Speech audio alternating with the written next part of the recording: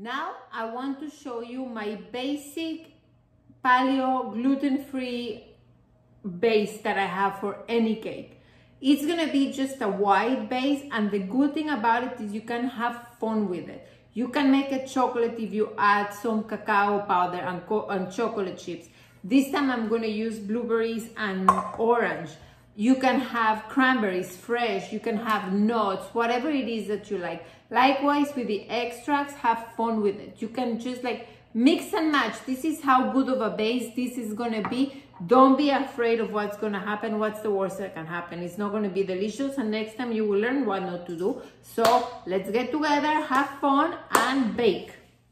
First, what we're going to do is we're going to use our mixer and we're gonna have the whisk attachment. I put four eggs because today I am going to use this loaf pan, which is red and is perfect for Valentine's Day. But I'm to use the whisk attachment, four eggs, room temperature. That's the most important thing. The eggs need to be at room temperature. What we have this here, what we do now, we're going to grease the pan far away, just because I don't like to take any risks. I use coconut oil. I know this is fast coconut oil.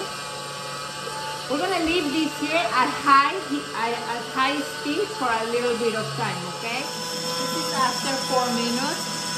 You see the egg? This is what is gonna give us the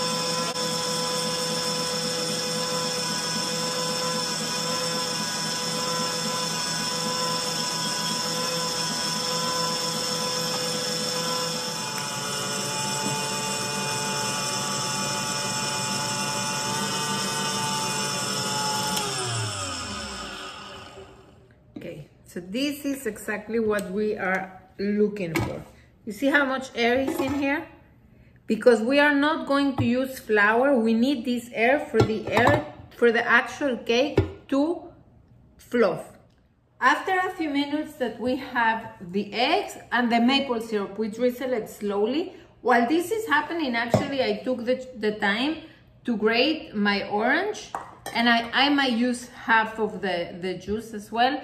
I wash my blueberries and I make sure they're dry because otherwise they're not gonna, they're just gonna re release a lot of liquid.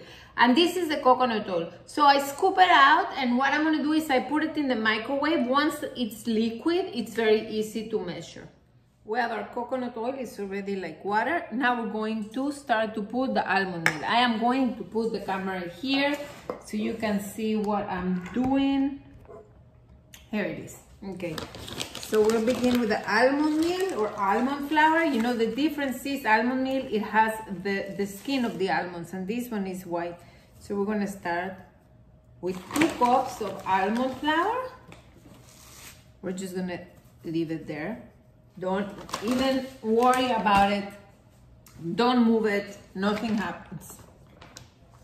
We are going to put maybe two spoons of coconut flour. Everything is sinking. Don't worry, all is well. We're going to put salt. And we're gonna do baking powder. I'm gonna put the recipe, okay? And a little tiny bit of baking soda. I'm going to put the recipe. The last thing we're going to add is the oil.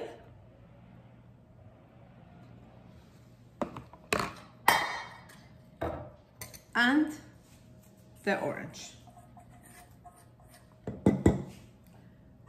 Now this is the trick. What you want to do is you want to fold this. You do not want to lose the air. This is going to be a fluffy, delicious, full of air cake, okay? You just need patience with this. See? This is what you need to do. It needs some tender loving care. So this is the way the batter needs to look. I want to give you a little tip. If you feel the batter is too watery, that is not thick enough like this, you can put just a little bit of coconut flour. But I am telling you, this is how much. Like, it's, it's a nothing. This is super heavy. Once you put half, you do likewise You're just going to mix it and give it a minute and that then you're going to see how it thickens. It thickens it out a lot. So this is how it's supposed to look. After that, we can take our blueberries that are washed and they're dry. We fold them carefully. We are ready to put it in the pan.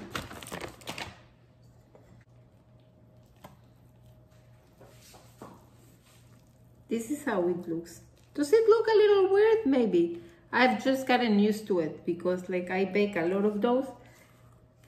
The consistency might look weird, but I also want you to remember when you eat them, this is a different kind of cake. You spread the, the butter and also spread the blueberries. Don't, don't allow them to be all in one place because then they're gonna be so, it, it, it releases so much water that it's gonna be very moist in one side. So don't be afraid to mix it a little bit. Make sure the blueberries are everywhere.